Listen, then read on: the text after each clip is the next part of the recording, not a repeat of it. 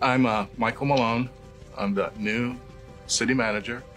Council just approved a two-year contract, but in fact, I've already been in Vallejo for five years. Uh, I'd like to take a moment to introduce Gillian Hayes, Assistant City Manager, and I'm going to introduce Mr. Terrence Davis, and he's going to tell you a little bit about himself and his role and responsibility. Thanks, Mike. Terrence Davis. Uh, it's a pleasure to be here. And uh, new Assistant City Manager, happy to be a part of this team. Prior to this appointment, I was the city's Public Works Director. I came to Vallejo in 2017.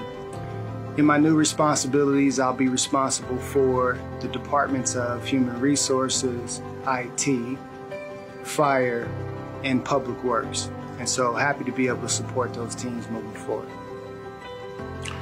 Now I'd like to appoint Assistant City Manager Gillian Hayes, and she will tell you a little bit about herself and her role and responsibility. Hi, I'm Gillian Hayes. I've been here in Vallejo for two and a half years. I have about a 20 year career in planning. I first came here as the Planning and Development Services Director, and I'm excited uh, for my new permanent role as Assistant City Manager. I'll be overseeing planning and building, economic development, housing division, homelessness, and communications for the city.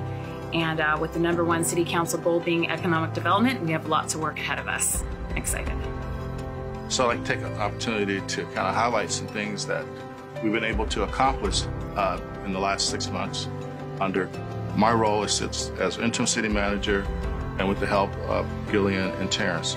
Uh, probably first and foremost is completing a goal setting. Recently with the council, uh, we were able to bring a balanced budget at mid-year to council. We were able to open up a fire station in Glen Cove, which is a major accomplishment. Uh, we currently have recruitment out for two new positions, help with the homeless issue in the city, and also to help engage our youth and find provide more opportunity for the youth in the community. In the community. We also, with the help of our public information office, we were able to have a number of community meetings and get input from the community. From that, we have direction from the council to move forward with uh, a plan, hopefully, to get the police in a new, updated, modern facility.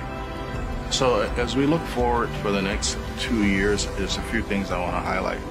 But just first upcoming during the month of May, we're coming back to council with a budget workshop.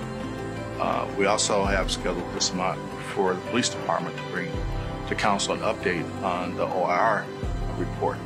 But as we look out in the next couple years, you know, one of the things that's really important to us is to try to provide a stable organization. Uh, we have economic development as a goal for the council, along with a youth coordination and youth initiative. None of those things can happen unless we stabilize our organization. Uh, we need to have an organization that can attract and retain qualified individuals uh, who want to be here, who want to serve this, this community and, and improve this community, so that's a huge priority for us as a team. All those things that we want the city to become, I think hinge upon us being successful in stabilizing the organization and keeping the talent that we have here, attracting new talent. To add to that, can I just jump in? I would say there's a lot to be done in this community, for this community, but most importantly with this community.